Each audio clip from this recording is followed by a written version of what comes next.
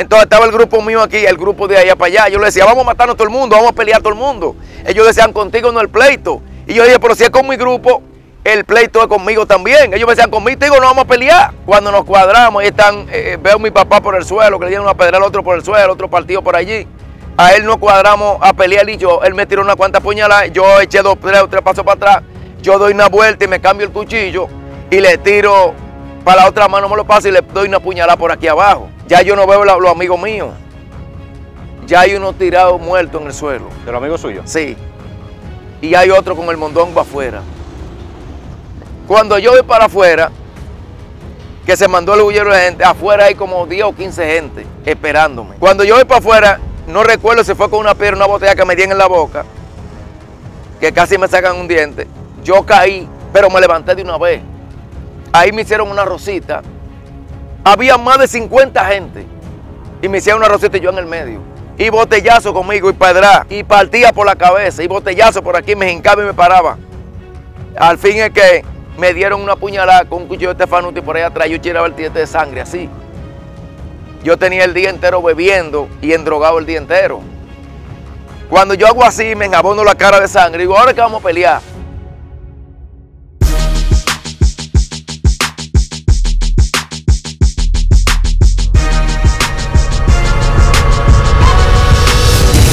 Hola, ¿qué tal? Saludos, sean bienvenidos a una nueva entrega de este canal Luis Peralta TV, invitándote a que te suscribas y que actives la campanita de notificaciones para que me ayudes con el crecimiento del canal. También te invito a que me sigas en nuestra cuenta de Facebook Luis Peralta TV.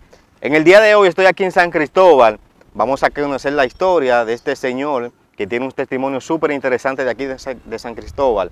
Eh, mucha gente me han llamado, me han escrito por las redes sociales que cuando la entrevista de maravilla, que cuando la entrevista de maravilla, gracias a Dios lo tenemos aquí en el día de hoy y sé que será un testimonio muy edificante para todas aquellas personas que nos están sintonizando por esta vía y por estas plataformas. Hermano, Dios le bendiga. Amén. Bendiciones para usted también, que Dios le bendiga mucho y esperamos que su, su testimonio sea un testimonio edificante y agradable para la persona y ante los ojos de Dios. ¿Cómo se siente? Bueno, yo me siento bien, gracias a Dios. Amén. Eh, su nombre eh, le llamaban Maravilla, no sé si todavía le llaman así. Eh, mi nombre es Nelcy Dosuero. Nelcy Dosuero. Sí. Me decían Maravilla porque yo era bolseador.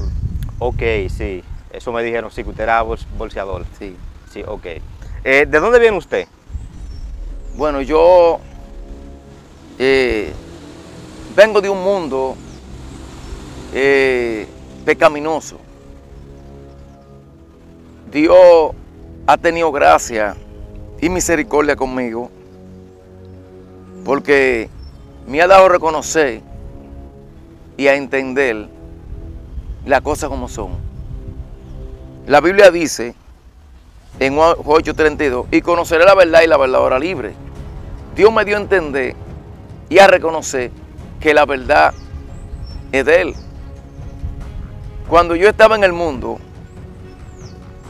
era un hombre tranquilo, pero andaba en pecado. Y cuando el hombre anda en pecado, los problemas siempre le siguen. Porque la Biblia dice en Juan 10:10 10, que el diablo vino a hurtar, a matar y a destruir. Pero Cristo vino a dar vida, vida en abundancia y vida eterna en el cielo. Había una trayectoria en el mundo. Yo bolseaba primero, aquí en el estadio, bolseaba casi todos los viernes y en diferentes pue- pueblos. Eché varias peleas eh, de bolseo y creo que nada más perdí como dos peleas y gané 36 por nocao. Y ahí, en las trayectorias de los tiempos, entonces eh, me fui desligando del bolseo. Y un día dejé de, de, boxear. de bolsear y cogí la calle. Al coger la calle, entonces me mantenía en la barra, en la discoteca, en los colmadones. También estaba con otro muchacho, amigo mío, controlando un lugar que le decían el típico, en la puerta. Y allí habían varios problemas. Allí tuve un problema con un muchacho que agarró a la hermana mía. Ella llegó allá al típico y me dijo que él la hubiera violado. Cuando llegó allá a la casa, entonces yo estaba allá en la casa. Ahí yo arranqué y lo fui a buscar. Yo hallé un palo en una panadería y tenía un cuchillo. Cuando yo entonces bajé para allá, entonces yo lo estaba buscando y entré a la mesa y pregunté por él, pero cuando yo venía saliendo de ese lugar del típico, yo lo hallé a él. Entonces ahí yo le di cinco palos y le di como cinco puñaladas. Ahí por eso quedó grave esa persona y yo caí preso en la cárcel. Esa, fue ese fue el primer problema que usted tuvo en la calle, sí. ¿O ya usted ya estaba sonando ya? No, ya yo tenía varias cosas, ese problema. Pero ese fue el más, que más, grande. No, ese no fue el más grande, no. O sea, hasta ese tiempo. Ese fue uno de los, pero no fue tan grande así como los otros, que más, anterior fue muy grande los problemas también. Entonces yo caí por cuatro meses y ahí eh, se puso un abogado y yo salí a fianza. Cuando yo salgo para la calle, entonces viene y veo, estoy, entonces trabajaba allí en el típico y me movía en los cabareces. Allí en los cabareces hay unos cuantos muchachos que eran jodones. Ahí entonces, yo estaba sentado ahí bebiendo en un lugar. Llegó una persona que él está muerto, que le, llaman, le llamaban hijo, y ahí en los cabareces estaba eh, agrediendo a una mujer, queriéndole dar golpe, y yo le dije, a las mujeres no se le da golpe, a las mujeres se le da cariño. Eh, deja eso tranquilo. Y me dijo que no, porque él estaba en mal estado, en drogado, bebido, estaba en mal estado y él dijo que no, que él no iba a dejar eso así, que lo que quería era eh, dar golpe. Y yo le dije, pues entonces tú quieres dar golpe, eh, vamos a pelear usted y yo, porque con las mujeres no se pelea. Ahí él se mandó para allá, le tiran un armoníaco de arriba del, del Dori y él tenía su machete. Yo andaba con otra persona y el machete, entonces yo lo jalé. Él cuando nosotros nos cuadramos, él me echó armonía con los ojos. Cuando me echa armonía con los ojos, entonces yo eh, echo un poquito para atrás porque no puedo ver casi. Y él eh, eh, me entró a apuñalar y yo venía bloqueando con el machete, pero no veía nada. Me pego en una pared cuando estoy en la pared me tira machetazo, ahí yo en una me hinqué en la pared y le estiré y le corté una mano. Entonces, eh, eh, eh, bloqueando y todo, él tirándome, con el mismo machete mío me corté en la cabeza cuando él me tiró el machetazo. Tengo la cabeza bandeada y ahí él está tirando por matarme. Pero yo metía los machetes así para que él mm. no pueda matarme. Bloqueando. Sí, bloqueando con el machete entonces hincado en una pared. Ahí llegaron unos cuantos personas y lo echaron para allá y ahí buscaron agua, gracias a Dios. Y yo entré los ojos en agua que tenía el muñeco en los ojos. Ahí me llevaron al hospital. Cuando me llevan al hospital, allí la policía está investigando qué fue lo que pasó y quieren como dejarme allá, eh, era preso. Entonces yo, eh, yo no le dije completamente qué fue lo que pasó, porque a mí no me gustaba hablar así ni poner querella, sino que yo trataba de resolver mi cosas. Eso eran cosas de calle. Cosas de calle. Sí. Yo no me gustaba, me gustaba, yo si tenía que hacer algo, yo lo hacía, yo no ponía querella, porque el que me daba yo le daba. Yo no me quedaba dado de nadie. Bueno, al fin es que estamos en el hospital allí, están esperando de que el médico del hueso para chequearme el hueso, yo tengo rotura. En eso yo andaba, creo que tenía dos mujeres ahí y le dije a una, eh, présteme un pañuelo, algo, una toalla para ponerme en la gama, la amarré. Por la mañana yo me fui por la unidad por atrás y me fui para mi casa.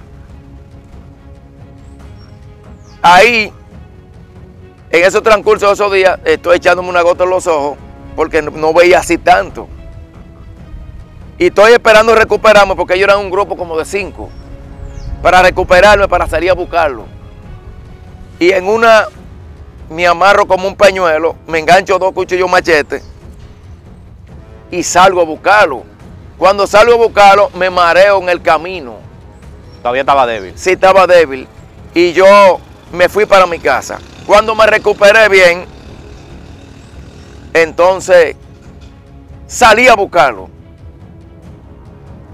A un muchacho, a mitad de mío, le dije, entra allí. Yo me quedé, creo que acechando por aquí. Dime cuánta gente hay para yo entrar que voy a pelear. Cuando él entra, me dice, hay cinco y están así eh, eh, eh, en tal y tal, en, los mostradores. Yo le digo, está bien, vete ahora, que yo voy a resolver. Él me dijo, pero ¿y cómo tú vas a pelear solo con tanta gente? Yo no busco a nadie para pelear, yo peleo solo, vete. Él se fue llorando porque era amiguito mío, el que era pelear. Y no, vete, yo no quiero que te pase nada, yo voy a pelear. Cuando él se fue, yo entré de una vez y jalé. Y le entré a apuñalar a ellos. Ahí él tenía también como una, creo que una chilena, creo que tenía. Y como que martilló para tirarme. Y no, como que se encaquilló. no, no tiró. No tiró, gracias a Dios. Entonces ahí yo pude apuñalarle al uno. Casi se le sacó el mondongo para afuera ese. Yo llamaron a la policía. Ellos se mandaron los otros, no me hicieron frente. Yo salí para afuera. Cuando salgo, me voy porque tenía un grupo como una banda como de 25 gente. Cuando llego allá, me dicen ellos, ¿qué fue lo que te pasó? ¿Por qué saliste solo el grupo mío? Le digo, tense tranquilo ahí para la gente que vengan, que yo voy para arriba, para mi casa. Ahí estaba la esposa. Le dije, me voy a bañar porque voy a salir eh, para acá afuera. Cuando allá van allá arriba y dicen, se tiraron la gente donde tu abuela, porque yo dormía a veces en mi abuela y quemaron la casa. Ahí quemaron una hermanita mía, creo que una primita hermana mía, una sobrina. Al fin es que no murieron, quemaron una televisión y todo. Y ahí yo digo, bueno, salí con un grupo. Buscamos gasolina, de gasolina para prenderle fuego a la casa ese de ellos. Duramos desde las 1 de la mañana hasta las 6 de la mañana buscándolo y llegamos a la casa de uno, que ese no fue el que fue a quemar la casa. Pero yo dije, bueno, la madre no tienen culpa de eso. Vamos a dejarlo así. Cuando yo los haya ellos, yo voy a seguir buscándolo. Al fin es que la persona cayó interno y murió a los dos días. Yo voy corriendo y me voy a los par de días y me voy para Baní. Bueno, allá Baní, un tío mío habló con el, eh, con el teniente, en ese tiempo era teniente, un teniente que estaba aquí que le decían, creo que la cobra, y nos fueron a buscar. De allá para acá, ahí aún siendo impío, la misericordia de Dios me cubría, ellos no me pusieron esposa, ellos en el camino en Paya me compraron dulce, cuando llego aquí a la policía, que estoy adentro de la celda, ahí va un teniente y saca una pistola y dice, te estaba buscando para darte el, todo estos tiros que tiene la pistola. Y yo le dije, si yo había estado allá afuera, usted no me lo había dicho, porque yo no le tengo miedo a nadie en esta tierra, ni a policía, ni a nadie. Usted lo está diciendo porque usted está ahí afuera y, y yo no puedo hacer nada aquí adentro. Bueno, y se quedó así, bueno. Ahí duro unos cuantos días ahí en la policía y me llevan al Palacio de Justicia. Ahí me subieron para arriba. Cuando estoy en la cárcel de San Cristóbal, preso, allí al año y medio me echaron 15 años en primera instancia. Cuando me echaron 15 años, allí en la cárcel, entonces allí me decían el juqueado. Yo me amarraba un pañuelo, yo fumaba tabaco, yo fumaba marihuana, yo usaba cocaína, usaba hachí, usaba pastillas altané de loco. Y hacía, usaba pastillas Roy para endrogarme. Y usaba opio también. Como el enemigo me tenía en ese mundo y cuando no tenía droga, fumaba cigarro con pate dientes y usaba la hoja de campana, eh, la totaba y me la fumaba cuando no tenía droga. Allí estoy en la cárcel y tenía un altar. Yo le prendía a vela a esos cuadros. Habían varios problemas.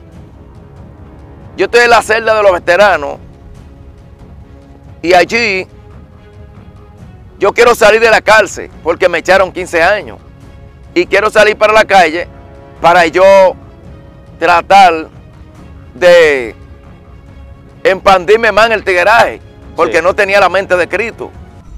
Entonces, Lo que quería estar era, era en la vuelta, en, la en el tigueraje, Sí, como estaba, porque el que no tiene a Cristo, el enemigo lo entra en propósito de él. sí. Entonces, estaba por salir desesperado, mandaba a mi madre donde todos los brujos, casi en el país, a San Juan, a todos los lados. Ellos mandaban a decir, él va a salir en esta semana. Mandaban resguardo y cosas así. Y mandaban aguas para uno bañarse, para uno de que salir de la cárcel. Él sale en esta semana y yo me cansaba de esperar semana y no me llamaban en la oficina. Yo me secaba eh, eh, ahí esperando la libertad. Hasta que un día mi madre, siendo impía, me dice, Enército, vamos a dejarle eso a Dios. Y yo le estaba vamos a a Dios. Nosotros, yo empecé a orar. Yo cuando me iba a acostar, oraba a Dios. Y cuando me iba a levantar, yo también le oraba al Señor. Allí casi en la cárcel no puede uno lavarse casi la cara bien en ese tiempo. Porque cuando usted se enabona la cara, también lo sorprenden. O le tiran harina caliente con sal. O le tiran aceite caliente. En en ese tiempo que usted estaba preso ahí, ¿se desarrollaron problemas ahí en la cárcel? Habían varios problemas en la cárcel, muchos problemas. ¿Con usted personalmente? Sí, también y con el grupo nosotros, Sí. porque teníamos un grupo, eh, de como de 200, yo tenía un grupo en la cárcel. Eh, Esto era la fortaleza aquí. era la fortaleza. Ahí había un grupo como de 200, estábamos controlando entre unos proboces, eh, primero, segundo y tercero, y allí 18 probó en diferentes celdas, de a dos probó en cada celda, para que pongan el orden de cuando entre el chao, que la gente tenía que entrar para adentro, y cuando ya iban a salir para afuera, y también iban evangélicos a orar X tiempo, creo que un día a la semana, y yo le tenía un respeto grande a los cristianos, y yo le decía, cuando el teniente me llamaba, que en ese tiempo estaba Zapata, el teniente Zapata, él me estimaba mucho y me tenía mucho respeto, y yo también a él, y me decía, eh, llegaron los evangélicos, cuando llegaron los evangélicos, yo le decía a los presos, a los, a los, a los- a los- a los dueños, a los que estaban en la celda, a los probó, eh, éntrenme los presos para adentro que llegan los evangélicos y van a hacer una oración y hay que respetarlo, a los creyentes. Eh, yo tenía ese temor delante de Dios. Entonces ahí eh, entraban para adentro y le decían, no salgan para afuera sin camisa, ni echen peste porque los cristianos vienen a orar. Entonces, cuando ellos, yo le digo, cuando van a salir, entonces van a salir con su camisa y con un respeto. Entonces, cuando ellos oraban, ahí se peleaba todos los días en la cárcel. Cuando los evangélicos oraban en la cárcel, allí se duraba tres meses y pico sin pelear, porque Dios tenía planes y tiene planes y propósitos con todo aquel ser humano que Él le creó y me hace más por un propósito. Yo voy a corte, cuando voy a corte, a los dos años, creo que y medio, arriba en la corte, me dejan a, siete años, me bajaron 11, ocho años. Allí la misericordia de Dios fue cubriéndome. Allí tenía que durar, creo que tres años y medio, para salir con la condicional. Pero yo tenía antecedentes también en la cárcel de que ahí yo hubiera apuñaleado un par de personas en la cárcel. En la cárcel, por los Sí, problemas y- por los problemas que hay, porque hay varios problemas y la gente, la mayoría, quieren controlar la cárcel. Y los que son de ese lugar eh, van a controlar. Sí. Yo decía que nadie controlaba y el grupo nosotros, los que estaban controlando, que habían, eh, que habíamos tres probos, un general, un segundo y un primero.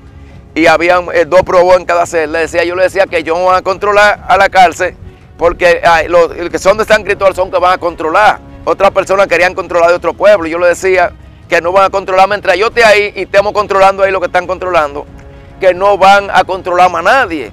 Eh, eh, ¿Qué, problemas se originaron por, eso? Se originaron varios problemas, habían problemas de ciento y pico para ciento y pico.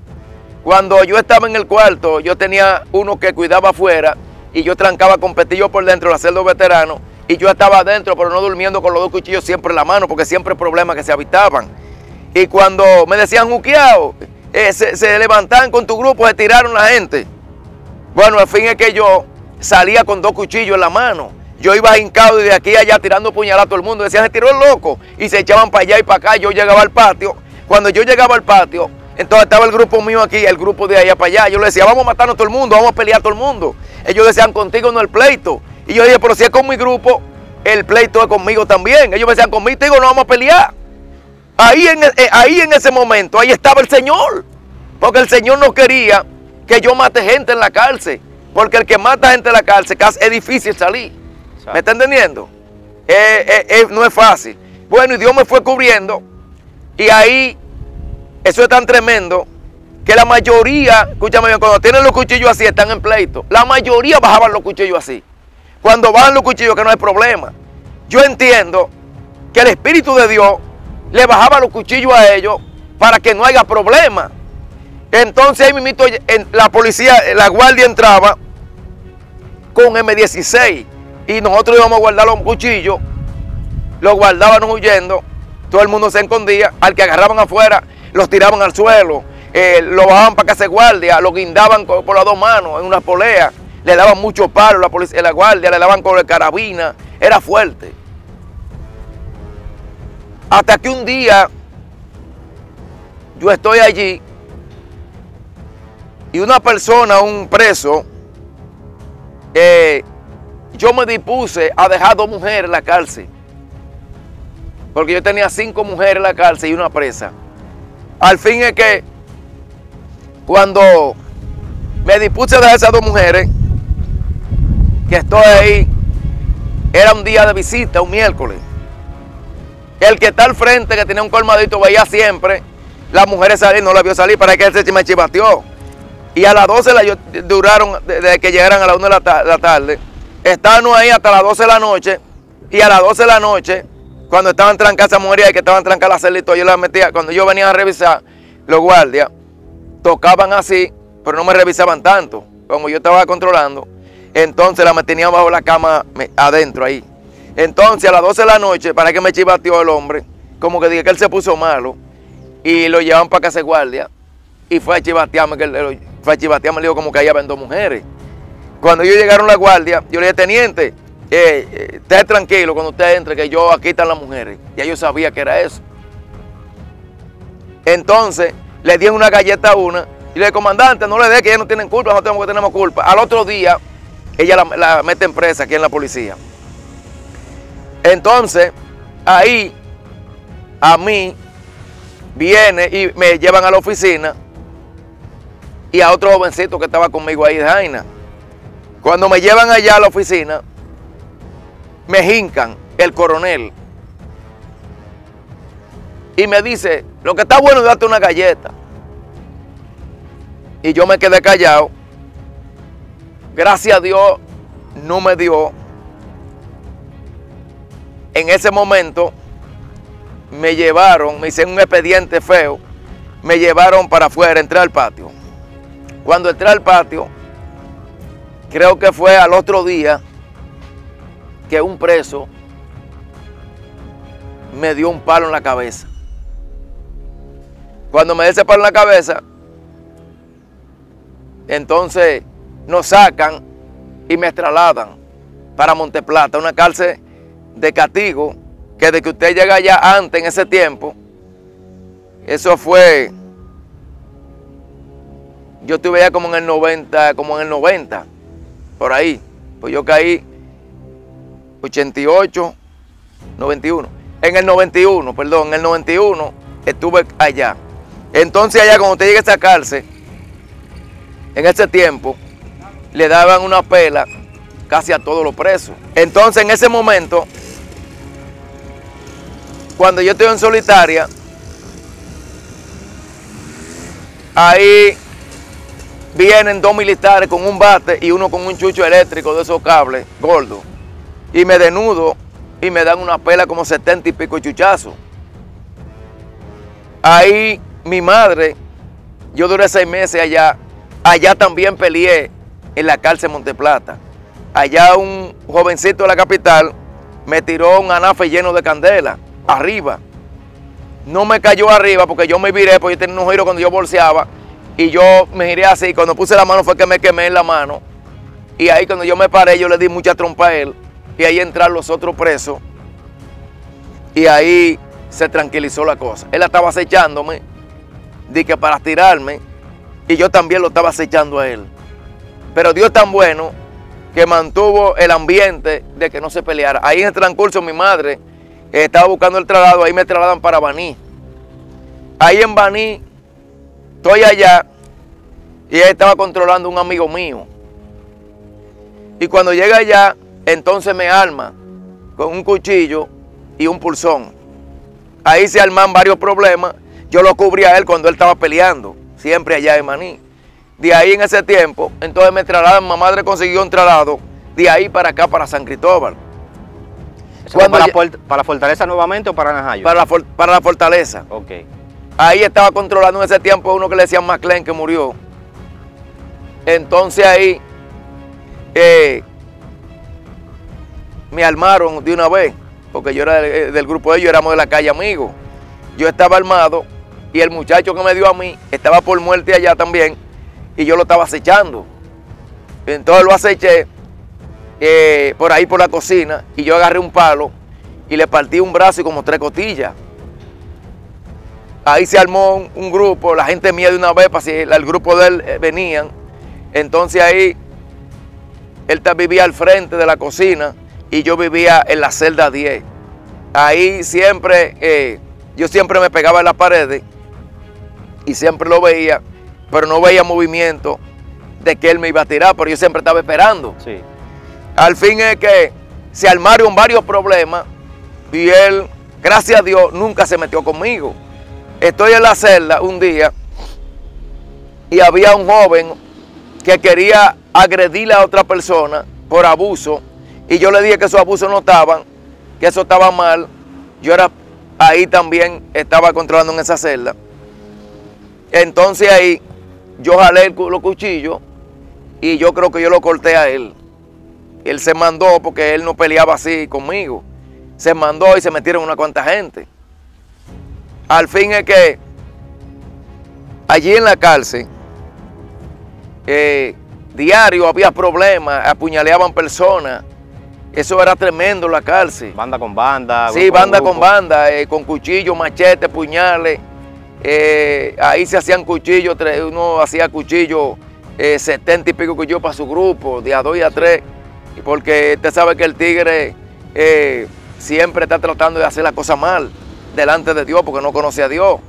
Y uno estaba ahí en la misericordia de Dios. Bueno, si mataban a uno, uno mataba, porque a mí me dio una persona de la capital que murió, nunca juegue de mano ni juegue de boca, porque el que juega de mano y de boca no tiene respeto. Entonces yo le decía, yo nunca he jugado de mano ni de boca, yo, yo respeto a todo el mundo, pero a mí que respetarme. Yo no tengo miedo a nadie. El que cree que va a venir a sumejarme o a querer hacer cosas negativas, probamos el pulso, me va a probar el pulso bien porque yo no tengo miedo. Y yo sé pelear también. Yo no soy tigre de la cárcel, yo soy tigre de la calle, le decía yo a ellos. Porque eh, en la calle yo era eh, en decir tranquilo, pero tenía varios problemas. ¿Me está entendiendo? Entonces ahí está ese, está ahí ese día. Ese día yo también iba para allá, para la solitaria, porque yo amanecía jugando domino y bebiendo y endrogándome en diferentes, y jugando dados en diferentes áreas sí, área, allá en, diferentes celdas. Ese día yo iba a amanecer allá, pero parece que Dios no permitió, porque yo lo oraba al Señor, que yo amanezca ahí. Ahí hay eh, como ocho personas que eran de la capital. Entonces yo quería coger control, pero como yo no podía coger control, querían darle a lo más débil.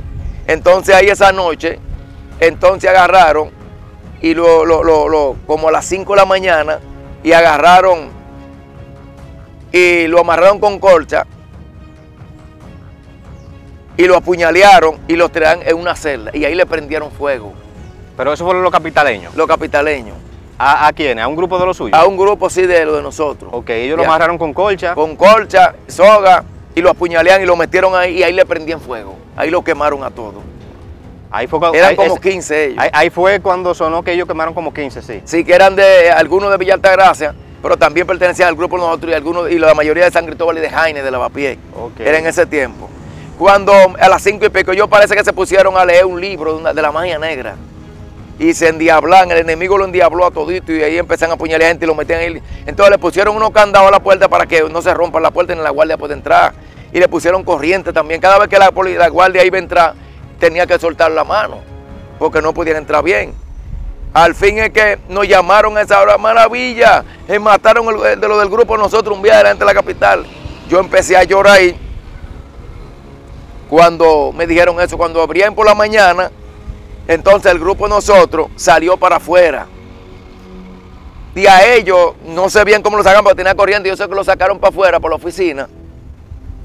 Y ahí, entonces, eh, la mayoría de nosotros, yo iba adelante, y algunos capitaleños se, se hincaban delante de mí. Ay, no deje que me dé maravilla. Pero el grupo de nosotros estaba muy indignado porque habían matado a un grupo de nosotros. Ellos lo apuñaleaban, le daban combate con clavo en la cabeza. Pero lo que se hincaban eran personas que quizás no estaban metidos en eso, pero eran, Pero eran de allá. Sí. Eran de, de tu, tu grupo de allá, de, de- de- Sí, de la capital, en que no tengan cosas. Pero el grupo de nosotros iba loco. Porque que le matan a una gente, la gente va a salir a darle a, a todo el que haya, de familia o quien sea. Pero yo no le ponía la mano a ellos, porque yo no me gustaba darle a gente eh, como así, Indefensa no, de abuso, no. Me gustaba pelear, eh, un ejemplo, y me llegaban los momentos porque no me gustaban los abusos, pelear con hombres que vea que abusaban con tigres. ¿no? Yo no peleé con infelices nunca, sino con clases de personas que quieren abusar. Nunca me gustó darle a nadie de que, que estaba de que ahí, eh, sí, desarmado y defenso, no. Entonces ahí la gente del grupo mío le daban, tenían media y le echaban piedra y le daban en la cabeza así a esa gente. Se armó un mor- mortadero terrible, partido, gente por donde quiera tirado. Al fin es que el chavo, llevan un chavo, llevan un chavo allá, que ellos mandaban carta a veces a los presos de otra cárcel, teníamos amistad en diferentes cárceles, y le mandaban la carta. Cuando trasladaron a la gente que, que hicieron el lío, cuando entraban a la cárcel le daban un machetazo por, por el pecho, le llevaban los dedos, porque teníamos gente en diferentes cárceles. Sí. Bueno, hasta que sucesivamente ahí, la cosa, eh, el barrio, desde allá del barrio, de- eh, mucha gente fueron, se está acabando la fortaleza, hay unos muchos muertos. Eso estaba lleno de gente ahí. Y, y preguntaban, matan a maravilla, que esto decían así. Y yo me paraba en la vela y le decía, no, yo estoy aquí. Porque había un plan, pero Dios tenía otro plan conmigo. La gente estaba esperando que... que- A ver qué había Sí. pasado, porque como que se rumoró que me había matado a mí, un ejemplo. Entonces yo estaba, saqué la mano por la ventana, por los celdos de los veteranos, y ellos me veían ahí, qué bueno. La gente hasta lloraban, porque gente que me quería mucho también cuando yo estaba en el mundo. Eh, estando en el mundo me estimaban también, porque yo no me gustaba los abusos. Bueno, yo veía a cierto abuso en la cárcel, que siempre hay que hacer una fila para coger chavo. Y los infelices allí que no le llegaba a nadie, siempre le daban la comida vacía, sin carne. Perdón, perdón, pero eh, eh, en, en ese conflicto que matan a las 15 personas, de- después no sé, no, ustedes no, no chocaron con ellos. No, porque ellos lo trasladaron. Ok, pero entonces le, le mandaron... Carta Sí, ok. eh, a otro pueblo, a otro, a, donde estaban, habían cárcel. Para donde ellos que teníamos mitad de la cárcel, para cuando ellos, lo- lo- lo- lo- ellos entren adentro, entonces le den. sí, sí. Y le dieron a unos cuantos. Entonces hay otro murió, creo en el hospital. No sé bien qué es lo que le pasó a ese, de lo yo mismo. Entonces al fin es que eh, ahí esos presos, los tigres siempre cogían una latica de carne, 15 y 10 pedazos, y la preparaban. La limpiaban y la preparaban con sazones. Y, y habichuelas, lata de habichuelas, los infelices, que no le llegaban nada, se hinchaban, porque el chauca se hinchaba. Entonces, no le podían dar carne a ellos ni habichuela.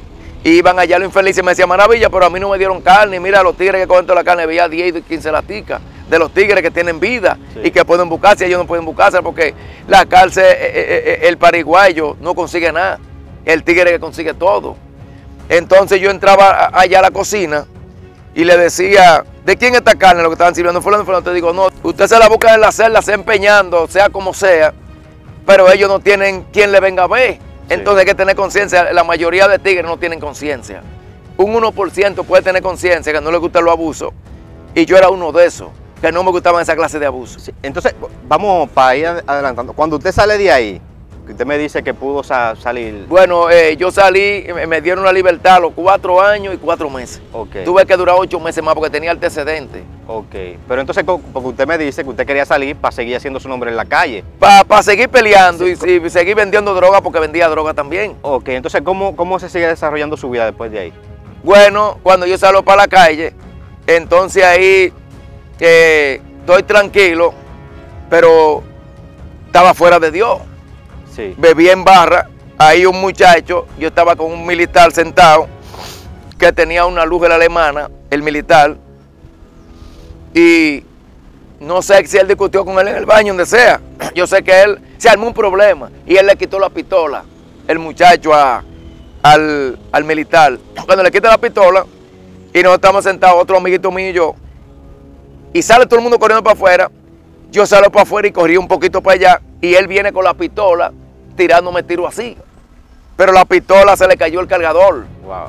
y ahí no pudo pegarme. Yo me metí en una casa. Entonces de allá yo cojo como cuatro o cinco piedras y yo le tiro y le llego a dar y, lo- y como que se dobla así de todo, ahí lo agarraron. Y ahí lo partieron todo y ahí lo metieron preso. Ahí se calman los líos, después estaba tranquilo. Mi familia estaban en una barra ahí. Ahí una persona que estaba ahí tenían enceronado a uno de la familia mía. Cuando yo veo esos asuntos, que van allá y me dicen, estaba haciendo un domplín ese día, y me dicen, están peleando tu familia. Cuando yo bajo, yo no tenía cuchillo. Yo bajé a apaciguar. Le digo, ustedes tranquilos que esto, ustedes son amigos míos, no peleen. No, porque este es un fresco, que esto. Digo, ustedes tranquilos, vamos a dejar los problemas. Entonces él no quiso dejar los problemas, entonces yo fui y entré a la cabina, que había un amiguito mío, y él me pasó un cuchillo. Al pasarme ese cuchillo, yo me lo enganché, le vamos a eso tranquilo. Le dije todavía. Me dijo, no, lo, eh, que hay que pelear. Digo, si tú quieres pelear, vamos a pelear. Esa persona viera matar a uno por ahí. Él era un criminal también. Bueno, y yo cuando nos cuadramos, ahí están, eh, veo a mi papá por el suelo, que le dieron una pedra al otro por el suelo, otro partido por allí. A él nos cuadramos a pelear y yo, él me tiró una cuanta puñalada, yo eché dos, tres, tres pasos para atrás, yo doy una vuelta y me cambio el cuchillo y le tiro para la otra mano, me lo paso y le doy una puñalada por aquí abajo. Le doy la puñalada y él está como medio débil. Yo no quise matarlo en ese momento, pero él yo eché para atrás porque a mí no me gustaba matar así. Ya yo veía que él no podía salir peleando conmigo porque estaba débil. Y me tiró una cuanta puñalada, yo le boté y no le tiré más. Ahí lo agarran y se lo llevan al hospital.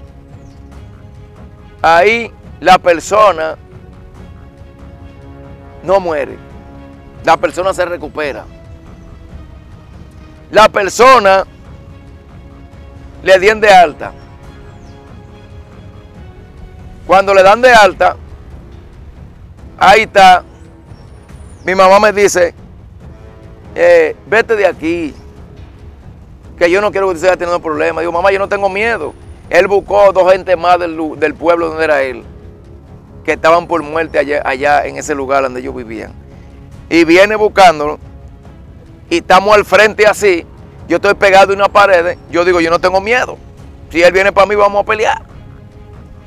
Al fin es que gracias a Dios no se pegan donde yo estaba. Otro día después, como que hice un aguaje, yo le dije, vamos a pelear, vamos para allí, vamos a pelear, ven. Pero yo no tengo miedo. Ellos estaban los tres juntos.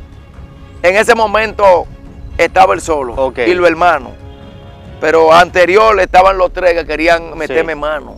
Pero parece que Dios eh, tuvo misericordia Y ellos no, no, no. y ellos no ejecutaron. Pues yo siempre estaba activo, pegado en una pared para lo que venía el otro. Pero tranquilo, ¿me entiendes? Sin Sí. buscarlo a ellos. Si ellos me buscaban, íbamos a pelear. Al fin es que después viene con ese problema y yo vamos a pelear para allí. Se metió una gente y se barajó toda la cosa. Al fin es que ahí mi madre me dice, vete para Jaina. Cuando yo me voy para allá, yo estoy bebiendo en una barra. Ahí tenía una muchacha que era de Santiago y andaba con un par de personas más, pero ellos se fueron y me dejaron solo. Entonces ahí ah, llegaron dos amiguitos míos de Gualey y estaban sentados ahí. Cuando ellos estaban sentados ahí, entonces llegó un muchacho, borracho, al baño. Yo estaba orinando y me orinó los pies. Cuando me orinó los pies, le digo, ¿por qué tú lo hiciste? Y me dijo, vete de ahí para no matarte. Yo le dije, ¿tú me vas a matar a mí? Yo tenía un cuchillo debajo de la mesa, él se mandó. Cuando él se mandó, entonces viene, ya yo no veo a los amigos míos. Ya hay uno tirado muerto en el suelo. ¿De los amigos suyos? Sí. Y hay otro con el mondongo afuera. Cuando yo voy para afuera, que se mandó el bullero de gente, afuera hay como 10 o 15 gente esperándome. Cuando yo voy para afuera, no recuerdo si fue con una piedra, una botella que me dieron en la boca, que casi me sacan un diente. Yo caí, pero me levanté de una vez. Ahí me hicieron una rosita. Había más de 50 gente. Y me hicieron una rosita y yo en el medio. Y botellazo conmigo y pedra. Y partía por la cabeza. Y botellazo por aquí, me hincaba y me paraba. Al fin es que me dieron una puñalada con un cuchillo de Stefanuti por ahí atrás. Yo tiraba el diente de sangre así. Yo tenía el día entero bebiendo y endrogado el día entero. Cuando yo hago así, me enjabono la cara de sangre. Digo, ahora que vamos a pelear.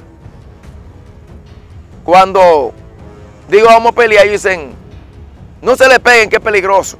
Yo me jinco y dejaba muchos giros para aquí y para allí.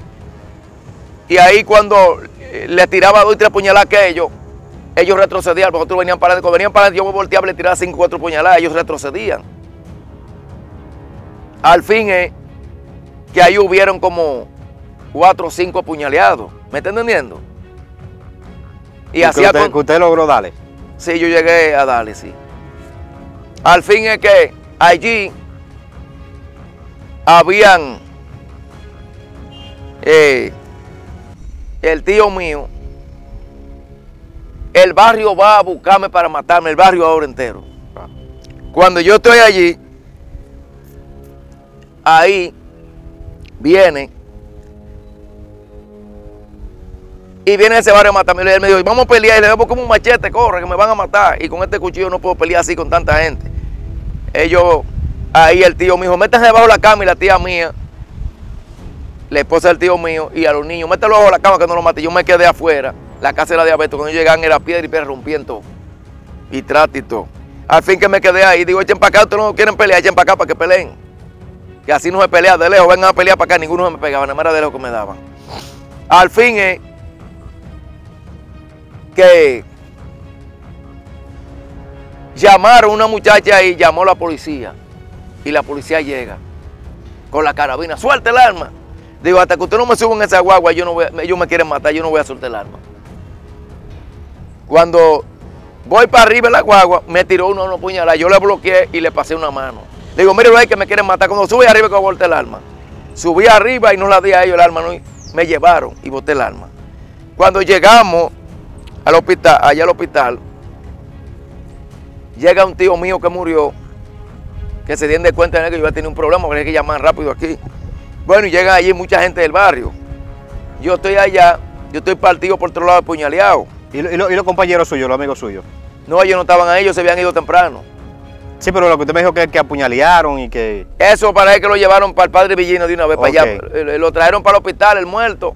Y el otro, entonces el otro lo trajeron para el hospital. El, que tenía el mondongo afuera. Exactamente. Entonces, cuando ahí estamos, dice, ya me, me cosieron atrás. Hay que llevarlo para, para la capital porque está muy malo a mí. Pero Dios tan grande y tan poderoso que no perdí tanto el conocimiento ni tanta la fuerza. Yo estaba medio mareado, pero en tanta la fuerza. Cuando van a subirme a la ambulancia, el tío mío me dijo, ven para subir. Yo no, yo voy a subir solo. Para que Dios me estaba dando fuerza y siendo impío. Y me subí solo. A él estaba ahí el amigo mío con el mondongo afuera. Y me decía él que iba ahí atrás de mí, no lo mires para que no te marees, porque tenía todo el mondongo afuera. Y cuando llegamos allá a la capital, entonces ahí la policía fue a buscarme y me lleva preso. Como yo participé en ese lío y me lleva preso. Bueno, llegué aquí, duré siete días. Ahí a la policía estaba controlando también, en la policía.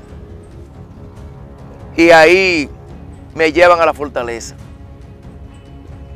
En la fortaleza ahí estaba, ¿no? También controlando con otro probó que creo que murió. Y allí estábamos tratando de que las cosas salgan en el orden de Dios, sin ser cristiano. Entonces allí vienen esas personas que eran, eran de allá, de la capital. Ellos querían coger control en ese momento también, porque que hay muchos presos, ¿me están entendiendo? Sí. Entonces, en ese tiempo, eh, yo le decía a ellos que yo no voy a coger control tampoco allá. Que mientras yo esté ahí, yo no voy a coger control, junto con, lo- con- la gente que estaban controlando allá. ¿Me está entendiendo?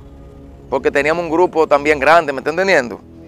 Y ahí eh, nos sacaban para la oficina y el teniente, ¿qué es lo que pasa? Ellos decían que yo era que tenía la cárcel desalboroteada. Y yo le decía a ellos, juntan la cárcel entera, teniente, para que usted vea que yo lo que quiero es tranquilizar la cárcel, que no se arme problema que la cárcel. Porque a mí casi no me gustaban los problemas, pero a mí lo que no me gustaban los abusos Ok, era. sí. Usted siempre estaba ahí cuando había abuso. Cuando usted- había abuso, donde quiera que había abuso, ahí yo estaba. Cuando en la cárcel querían tomar un niño, un joven que caía a la mala, porque hay hombres que eh, toman eh, niños a la mala, lo toman, que son, son guapos y son control, son- también son control y, y, y son homosexuales y les gustan los Sí. hombres. Y como no tienen mujeres, entonces agarran los niños y, y entonces ahí también yo llegué a pelear también con gente porque le gustaban pelear. En Baní también yo iba a pelear con una persona también que quería abusar co- con el niño. Y le dije, si tú sigues bromando con él, vamos a pelear, nos vamos a matar. Varios hombres que están a mucha cárcel, Eso, eso es lo que le llaman popularmente manigua. Así que. sí, como a la sí, mala y cosas sí. así que a la mala. Después que lo hacen a la mala, también hay muchos infelices que no le va a nadie. Cuando se lo hacen a la mala, después ellos lo mantienen y se quedan con ellos como mujeres también. Sí, wow. y lo mantienen y viven ahí con ellos ahí. Así es que caminan en la cárcel, se quedan con ellos, hombre con hombre, cuando no tienen mujeres, porque hay hombres que no tienen mujeres en la cárcel. Entonces ellos se quedan con los muchachos. Ahí, que eso no va delante de Dios. Exacto, wow. Pero el que es pecador y el que no se arrepiente, eh, le vienen varias cosas y comete errores de diferentes índoles porque no está en Dios. Sí. ¿Me está entendiendo?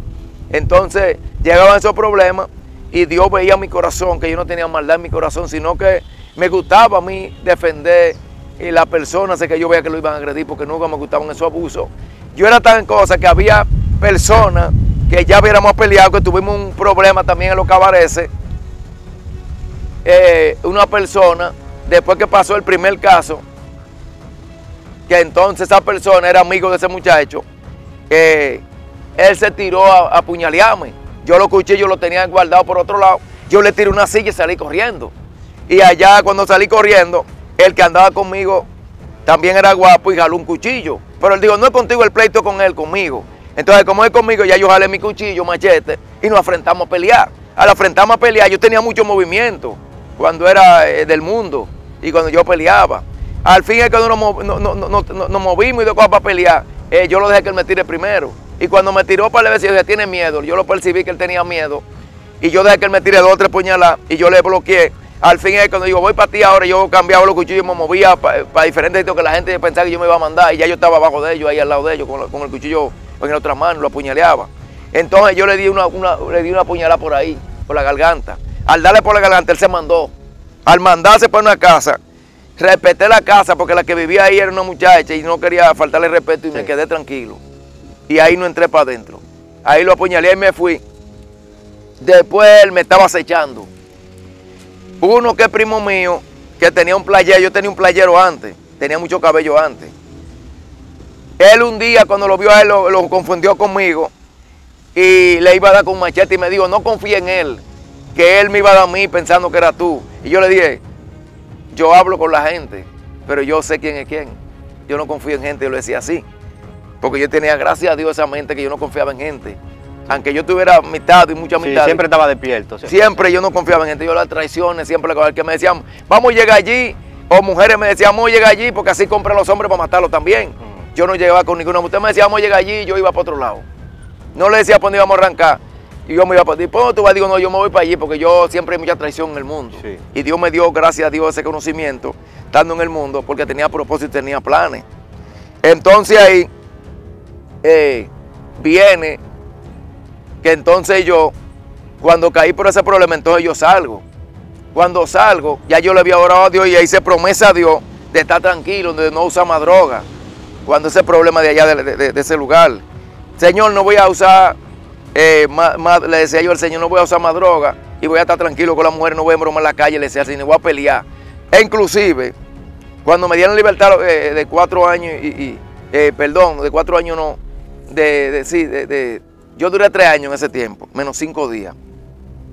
Cuando yo voy a salir, el tío mío me dijo, eh, dime si vengo a buscarte. Y yo le dije, tú puedes venirme a buscar, pero ven a buscarme sin cuchillo, sin machete, yo no quiero armas, le dije yo. Yo era impío, pero yo estaba confiando Sí. en el Señor. Y cuando salgo, eh, creo que me fui para otro pueblo. No me quedé aquí. Al fin es que después venía aquí siendo impío y yo venía desarmado porque yo lograba a Dios. E allá, allá en ese lugar donde yo vivía, habían personas que se sentaban ahí y me iba a dar problemas en esos años. Me iba a dar problemas porque ellos vendían droga en la acera donde yo vivía. Y ya yo estaba arrepentido con un altar. Yo me hincaba, pero no le daba al altar, sino a Dios. Le decía, Señor, yo no quiero problemas. Señor, si ellos no se paran de ahí, yo lo voy a entrar a apuñalar. Yo le decía así. Y Dios tan bueno y tan maravilloso que me dio a entender cada día desde la cárcel que Él quería algo conmigo, que tenía propósito y planes. Y ahí cuando yo salía, yo no hallaba uno ahí de ellos. Digo, pero la cosa está caminando como bien, para que Dios quería algo conmigo. Ahí sí que me invitan un día a un culto en el 2000 del mes de mayo del 28, un jueves, que las damas dieron un culto en la calle. Cuando yo voy a ese culto, hicieron el llamado, yo no acepté a Cristo. Entonces en el 2030 de mayo,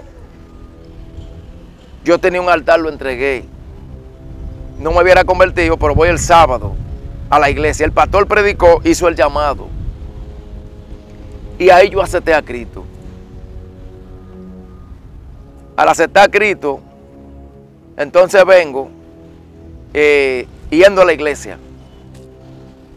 Yendo a una montaña ya Baní a orar.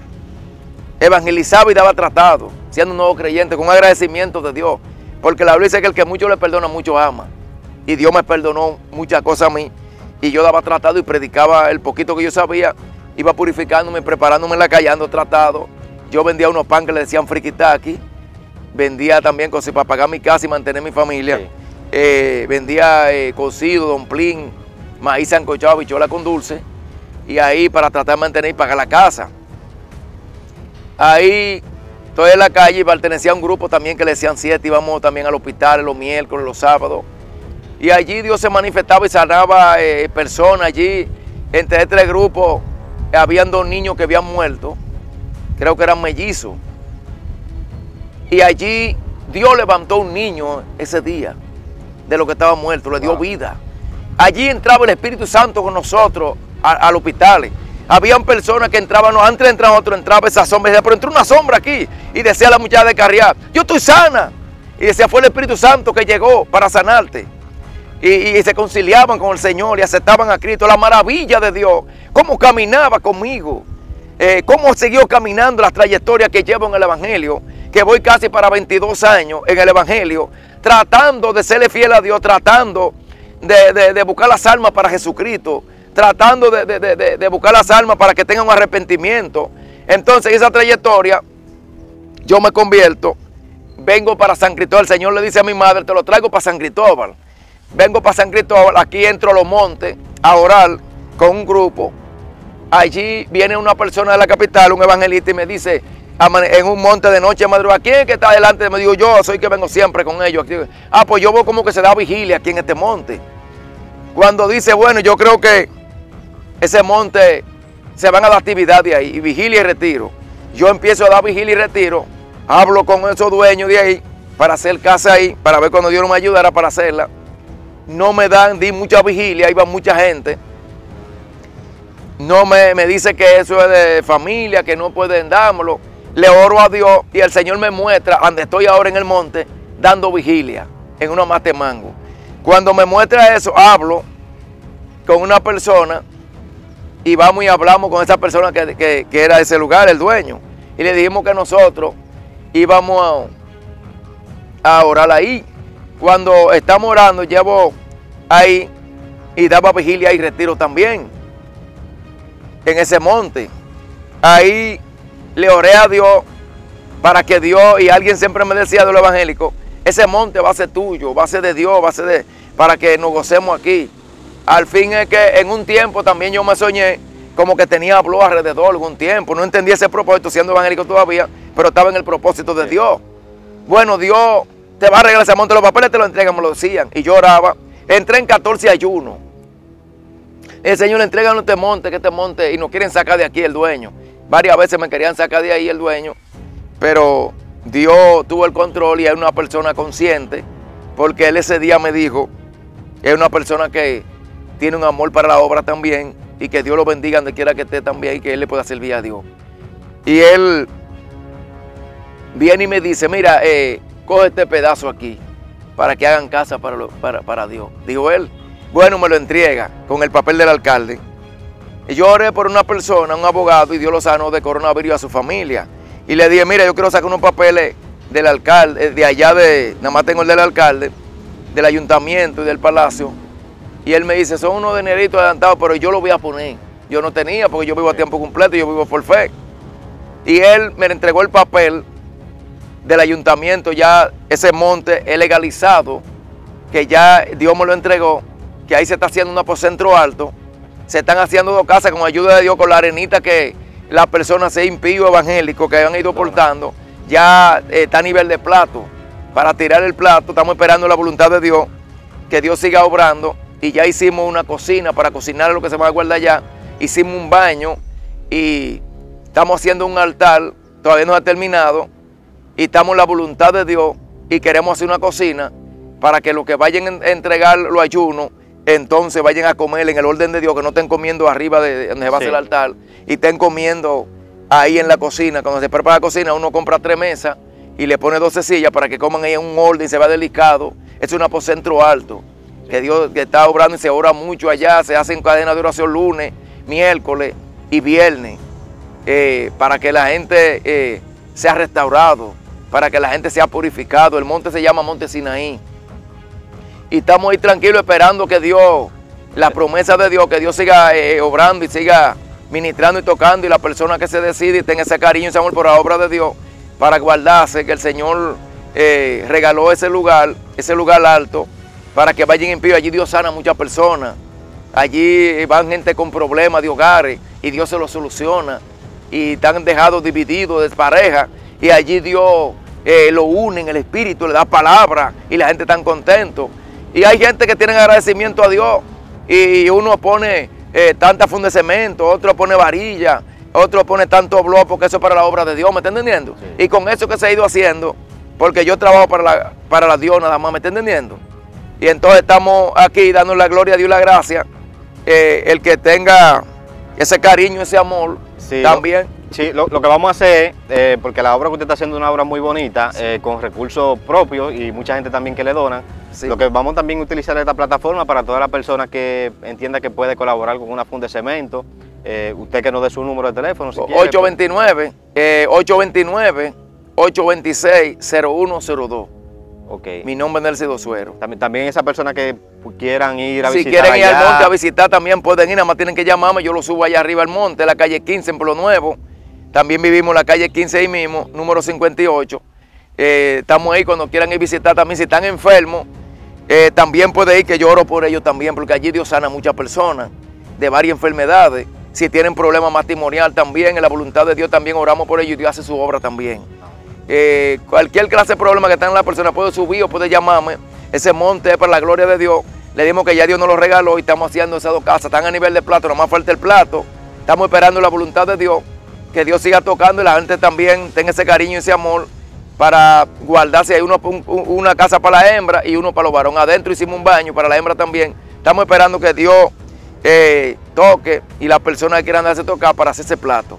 Así es que necesitamos cemento, varilla y necesitamos blog también.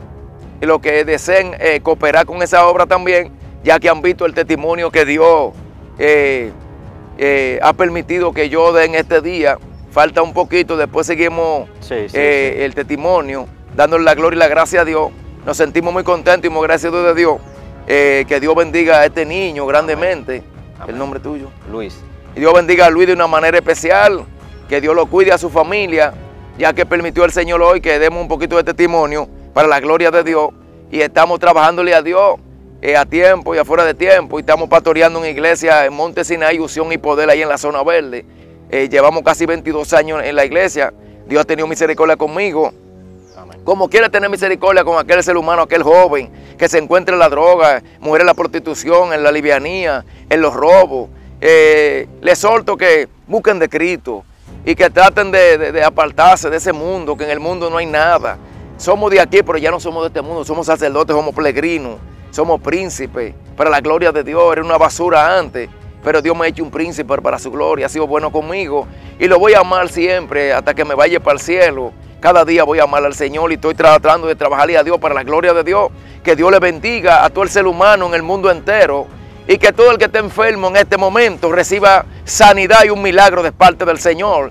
Yo destruyo en este momento los espíritus de quite vaginal, los senos, menstruación que no están controladas, que se controlen, el que no, las mujeres que no pueden, que son estériles, que no pueden eh, tener hijos, yo declaro esa palabra profética y que puedan quedar embarazadas eh, en el nombre de Jesús, la voluntad de Dios. Y yo declaro que los tumores de los cuerpos se van y que se van los cánceres, se van los sida, en el nombre de Jesús, los azúcar se van también, cualquier enfermedad, donde quiera que estén, yo declaro sanidad y declaro testimonio de parte de Dios en este momento. Que la unción, poder del chugo, el Espíritu Santo se traslade a todo lugar en el mundo entero, ante personas que están en los médicos, que están en los hospitales, ya que los médicos lo han desechado, yo declaro sanidad y que se levanten los paralíticos en el nombre de Jesús Nazaret. Yo proclamo milagro en este momento de parte del Altísimo. Jehová, gracias por este día, gracias por tu amor, gracias por tu maravilla, gracias por tu presencia, esa unción que se tiende en el mundo entero, en aquellos que tienen dolor y ahora en, Darío Contreras, en todos los hospitales del mundo entero, las mujeres que van a dar luz, que tú les cuides, Señor, para tu gloria y honra, y proteja a los niños y las niñas también, aquellos que están en la calle, que tú libertes y trates con ellos, para tu gloria y honra, en el nombre de Jesús. Amén, amén. Vamos a leer una cita bíblica y le damos la gracia a Dios. Amén. Vamos a leer Hebreo 11.6. Con un amén empezamos. Se dice amén. Amén. La palabra de Dios se lee en el nombre del Padre y Espíritu Santo. Yo como dice. Porque sin fe es imposible agradar a Dios. Padre, te adoramos, te bendecimos, te glorificamos, damos gracias en este bello día por tu palabra, por tu gloria, por tu maravilla y tu grandeza, tu palabra y gloria, hay poder y autoridad. El que le cree a Dios, nada imposible. Así que trata de creerle a Dios. Si tuviera fe como un granito de mostaza, le diría a montaña, muévete y la montaña se movería. Cualquier enfermedad que tenga, tú le dirías en este momento, vete la enfermedad se va en la voluntad de Dios. Así que Dios te bendiga y que Dios te guarde en este bello día. En el nombre de Jesús. Amén, amén. Amén. Dios te bendiga. Eh, amén. Igual, varón, usted muchas bendiciones. Eh, de verdad, gracias por el testimonio y por los minutos que nos ha brindado. O por la hora. Amén. Eh, muchas bendiciones para usted de parte de Dios y para su familia. de verdad, muchas gracias por el testimonio y por el tiempo. Amén. Eh, suscríbete al canal y activa la campanita de notificaciones.